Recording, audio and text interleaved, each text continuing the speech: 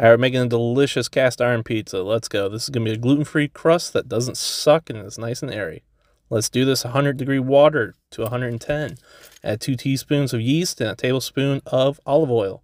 Get your gluten-free pizza dough flour, 2 and a thirds cup, tablespoon of sugar, teaspoon of salt. Mix that up, fold it up into a dough ball. Coat it in some olive oil. Coat your bowl in olive oil. Coat everything in olive oil. Then go ahead and let that rest for one hour until it's doubled in size. Name it Billy. Stick them in the fridge. Let them sit for about 30 minutes to overnight. Cut them in half. This kills Billy.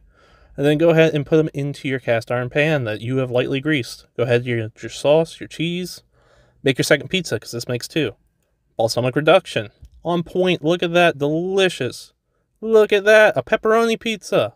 Cut it up and serve. Because you just made an airy, gluten free pizza crust that doesn't suck in a cast iron. Let's go.